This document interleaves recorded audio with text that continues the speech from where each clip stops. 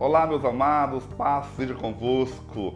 Ó nós aqui outra vez. Estamos de novo aqui no nosso canal e mais uma vez eu vou te falar.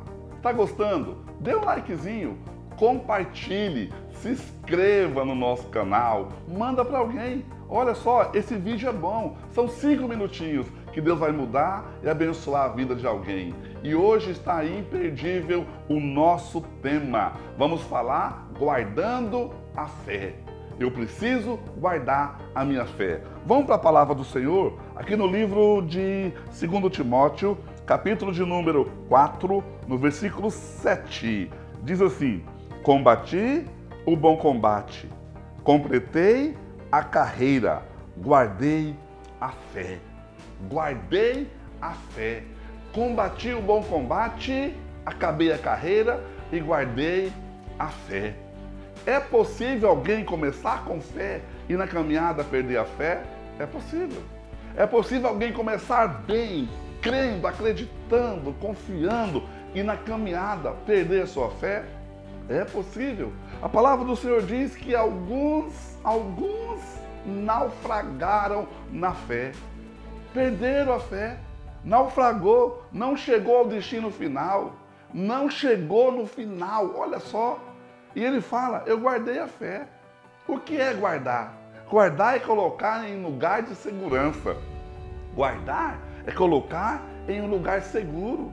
E a palavra do Senhor diz assim, queridos: olha só, que ninguém, ninguém consegue aproximar de Deus sem a fé. A fé é o elo de ligação, é o ponto de ligação entre você e Deus. A fé é aquele ponto que faz com que você chegue na presença do Senhor. Por quê? Porque sem fé é impossível agradar o nosso Deus.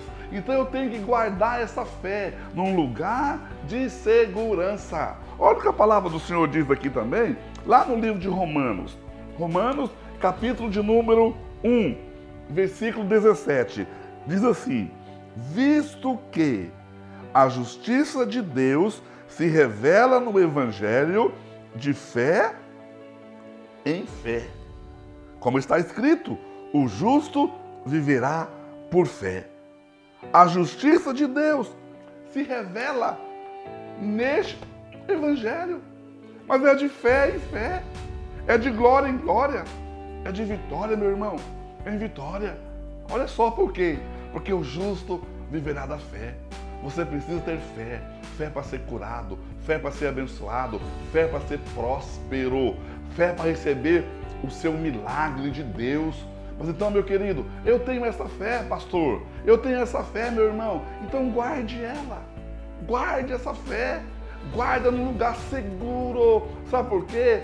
Porque a circunstância, a crise, o problema, a luta, a dificuldade vai querer minar a sua fé, vai querer destruir a sua fé. Por isso que muitos começaram na fé e terminaram sem. Perderam, perderam. Mas se você quiser conseguir algo de Deus, você precisa crer, você precisa ter fé, porque sem fé é impossível agradá-lo. Sem fé não tem jeito. A palavra do Senhor diz que o homem que duvida não recebe nada do Senhor. O homem que duvida, irmãos, é como a palha que o vento leva. Vai para um lado, para o outro. Mas se você crê, então guarde a sua fé. Acabei a minha carreira, combati o bom combate, mas guardei a minha fé. Independente da crise, guarde a sua fé. Independente da circunstância, guarde a sua fé. Porque com fé você é muito, muito, muito mais que vencedor. E que o nosso Deus te abençoe. Seja um homem de fé, seja uma mulher de fé e permaneça até o final. Em nome de Jesus e até a próxima. Fica na paz.